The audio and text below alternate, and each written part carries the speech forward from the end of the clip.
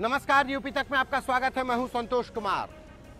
हम बात लखीमपुर में हिंसा की करेंगे और इस हिंसा में देश के केंद्रीय गृह राज्य मंत्री अजय मिश्रा के बेटे आशीष मिश्रा की मौजूदगी पर करेंगे।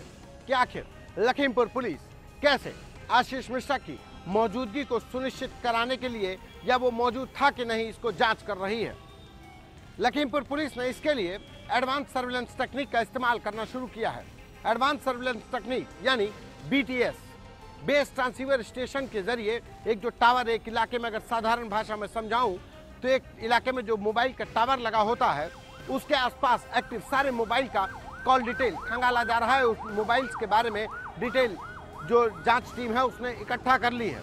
और उस मोबाइल में आशीष मिश्रा का मोबाइल भी शामिल है।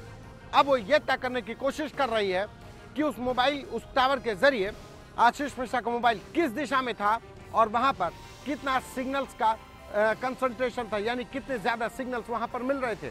अमूमन माना जाता है कि अगर कोई मोबाइल किसी टावर के सबसे नज़दीक होगा तो उसको ज़्यादा सिग्नल मिलेंगे।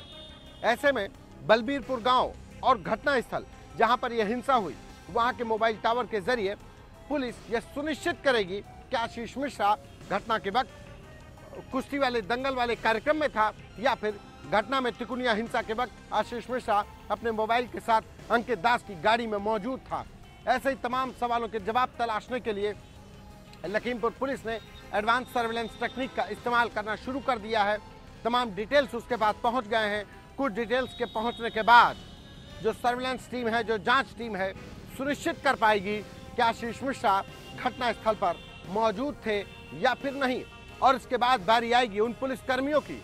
जो आशीष मिश्रा के मंत्री पिता की सुरक्षा में तैनात थे, क्योंकि कहा जा रहा है कि इनमें से कुछ पुलिसकर्मी कार्यक्रम स्थल पर भी मौजूद थे, क्योंकि वहाँ पर उप मुख्यमंत्री को पहुँचना था। और इसके अलावा वीवीआईपी मूवमेंट के चलते जिला प्रशासन की तरफ़ से, जिला पुलिस की तरफ़ से जो पुलिसकर्मी वहाँ पर एक्स्ट्रा फोर्स में तैनात किए गए थे, उनका भी बयान लिया जाएगा।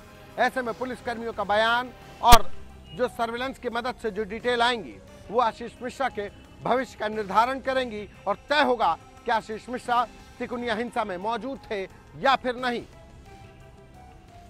यूपी तक में बस इतना ही। नमस्कार।